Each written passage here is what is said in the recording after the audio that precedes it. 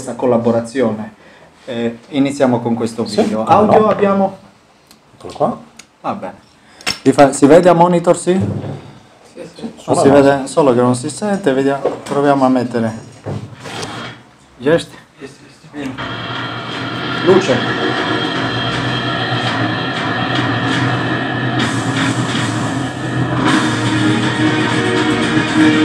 Si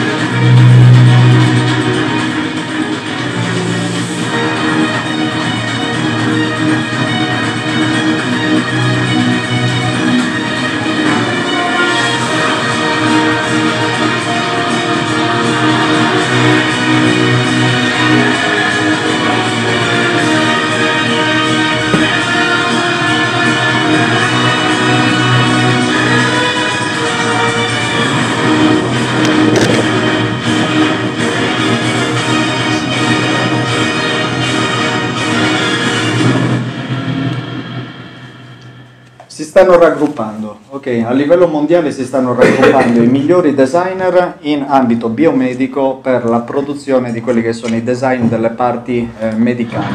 Ci abbiamo dall'India, ci abbiamo dalla Russia, ci abbiamo dall'America, dal Sud America, ci abbiamo de- designer che producono denti, designer che producono orecchie, nasi, che producono facce, che producono mandibole, che producono arti. Eh, quello che rimane in questo se- quello che nasce in questo settore è intanto il macro dei designer in ambito medico, poi ci sono quelli specializzati in dentale, quelli specializzati per esempio in cardiochirurgia, quelli specializzati nello scheletro, quindi ortopedico, settore ortopedico. Eh, sono tutte, vi dicevo, di designer che lavorano su pezzi ind- individuali. Qua parliamo di macchinari, ok? Qua stiamo parlando di designer e sono due cose complementari. Forse dare, dare una, una breve introduzione a questa tecnologia.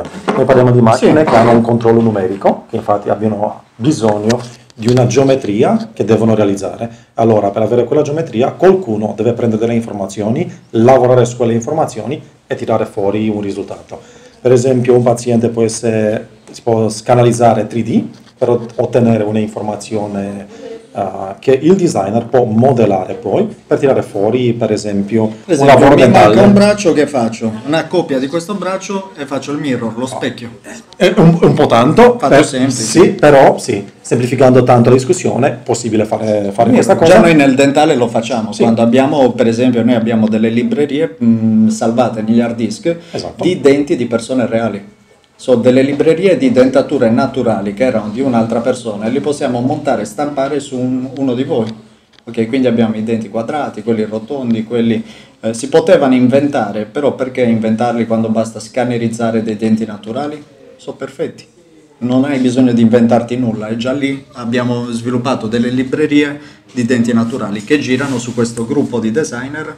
Ogni, ogni giorno stanno venendo catalogate un sacco di librerie, eh, scannerizzate un sacco di librerie, stanno venendo messe nei gruppi eh, e mm, si può andare a scannerizzare o parti di altre persone oppure parti di, di se stessi e quindi andare a replicare alcune parti di corpo. È una rivoluzione. E poi l'utente va praticamente in linea, si sceglie l'informazione che gli serve, come per esempio il pay per view. Vai tuo TV, prendi un file che ti interessa e lo apri. Da questa parte vai, cerchi delle geometrie che ti sono utili, geometrie che vuoi stampare, scegli una geometria, la porti sul tuo computer, la verifichi se è corretta, se non ha dei problemi, se non ha degli errori, se è adatta al tuo progetto e poi la puoi produrre in maniera digitale stampandola 3D.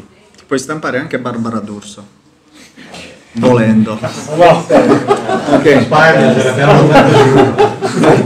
Forse se mi date un secondo vi trovo qualcosa interessante. Capite? Si aprono degli scenari incredibili, nel senso voi pensate alla rivoluzione di tanti settori industriali che sta portando la stampa. La stampa, per esempio, chi va in guerra, Stati Uniti, eh, mandano l'esercito, calano anche una stampante per i metalli che se si inceppa l'arma sostituiscono il pezzo stampandolo, non lo fanno arrivare dall'America. Solo un'informazione, Ok. per esempio, questa è una cosa che è stata mostrata al Fashion Week di New York.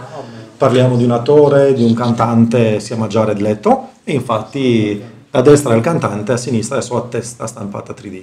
Che viene scannerizzata e Esatto. poi stampata con delle macchine. Le macchine ora sono piccoline, ma stanno facendo passi da, No, direi da oggi giganti. abbiamo anche macchine da un metro cubo, esistono anche macchine più grandi, però Guarda in 3D.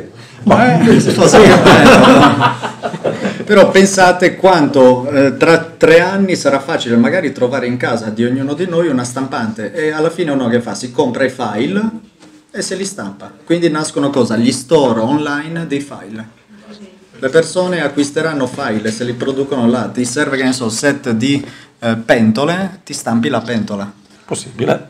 Ti serve riprodurre la chiave, è meglio avere il chip, che, che la chiave te la copia la chiave. No, ma già esistono per esempio i nostri fornitori italiani di sistemi stampa 3D in metallo, stanno collaborando con, le, con delle aziende che fanno delle chiavi uniche. Infatti ogni chiave ha una geometria unica che viene stampata 3D.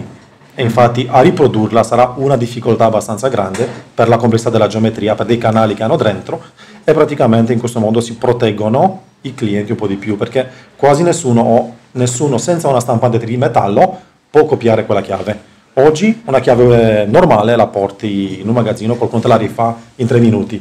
Una chiave complessa, stampata 3D, no, non ce la fa. Così ti portano più sicurezza e più tranquillità.